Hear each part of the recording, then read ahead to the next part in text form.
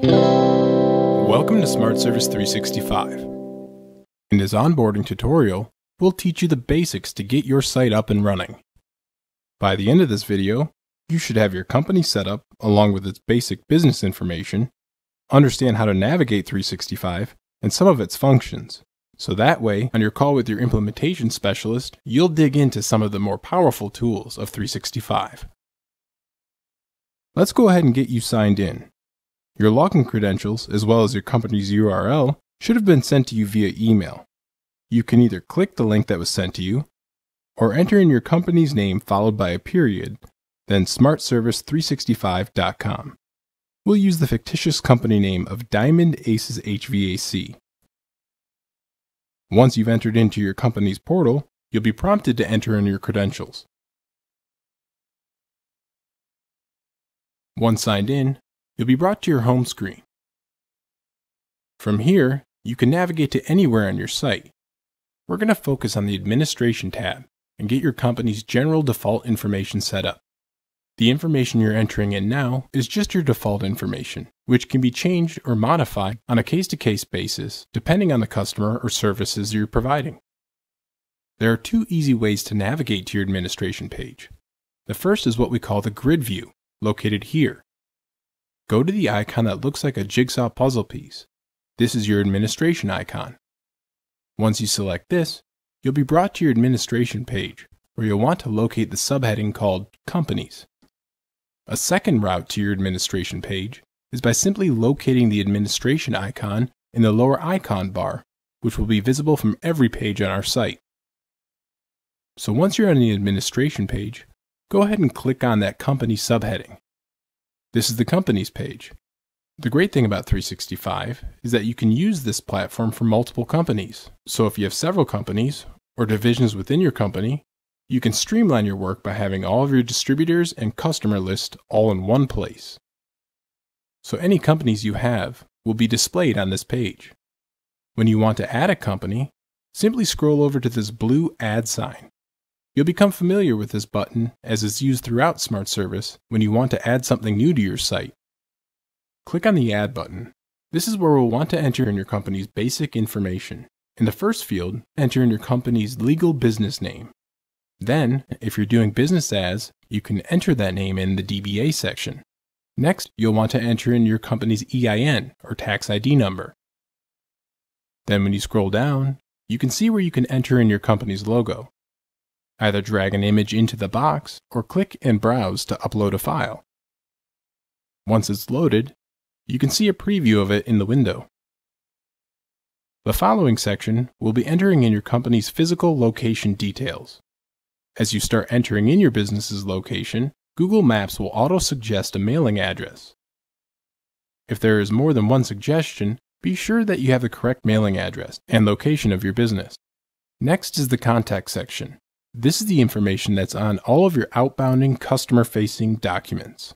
Things like quotes, invoices, and work orders all retrieve your company's basic information from this section.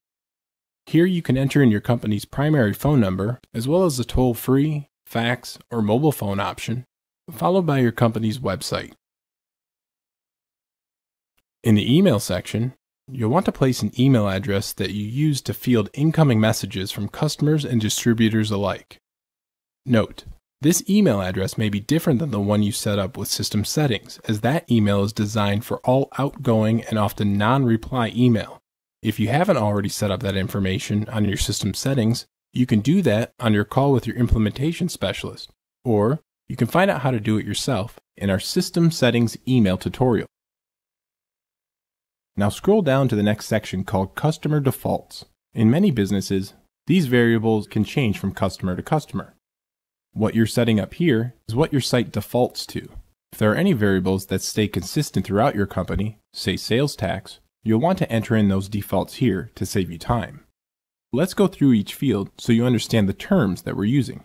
In the sales tax drop menu, you can enter in your state, county, or city taxes that would be applicable, or you can add a customized tax rate by clicking the Add button. For this example, we're going to leave it as non-taxable.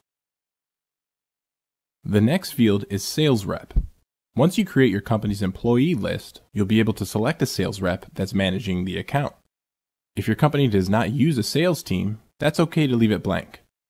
The next field, Source, you're able to monitor where you're getting most of your leads from, whether that's through email, referral, Google, or another source which you can add by clicking the Add button. The Terms section often varies from company to company and customer to customer. The option you set here will be the default, however, you'll be able to modify it case to case. You'll see that we've already suggested some of the more common payment terms, like cash on delivery, due upon receipt, and your net 10 through 60. Or you can click the Add button to create your own set of terms. For this example, we're going to select due upon receipt.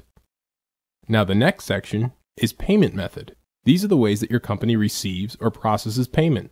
We've already created the common fields for you with check, cash, and the most frequently used debit and credit cards. But again, if you want to add your own payment method, you can click the Add button. The final default that we will set is your company's delivery method. The delivery method is the way that you send important documents like your invoices or quotes to your customers. We've already provided for you four options in text, email, printed form, which can be used in standard mail or handed out in person, and the non applicable. Now, when you scroll down to the next section, you'll see three areas in quote configuration, work order configuration, and invoice configuration.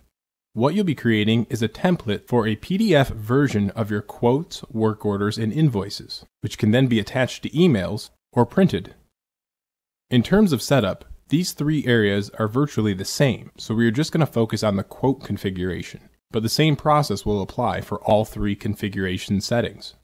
So, when we click on quote configuration, you'll see these fields. The first is your next quote number. If your company already has a way of tracking your quote numbers, you can enter a sequence of numbers here to remain consistent with your records. However, if you're starting off fresh, just leave the auto-suggested one we've created for you. The next section, Email Text Template, is where you can access and create your company's auto-generated emails and text messages. If you have standard language that you use in your quotes, work orders, and invoices, you'll want to create those templates here. You can start a new email or text template by clicking the Add button. Then, create a short description of the message. Next, add a subject. This is what appears in the subject line of an email. And then finally, add your message. This will be the body of the email or the text message. Then, be sure to click Save. Once you've clicked Save, be sure that your newly created message appears in the list of templates. Then, select the one that applies to the configuration that you're creating. The next two sections deal with the color of the PDF. The background and the foreground colors that we use to generate those PDFs are based on universal colors used in web and graphic design. Now we don't expect everyone to know those colors, so we've created this shortcut to this color chart. Click on it and find the colors that best represent your company. Then, when you return back to the configuration page, enter in the colors that you wish to use here. Once you have your colors set, you'll scroll down to the Terms and Conditions section. If your quotes, work orders, and invoices have any special terms, conditions, or policies, you'll want to enter those in here. Global signature is just the way that you sign your documents. Then, you can repeat the process with your work orders and your invoices. Once you have all three configurations set, click Save, and your company has been created on Smart Service 365. If by chance there was something in this tutorial that you were unable to finish, or simply had a question about, be sure to bring it up in your call with your implementation specialist. Thanks for choosing Smart Service 365.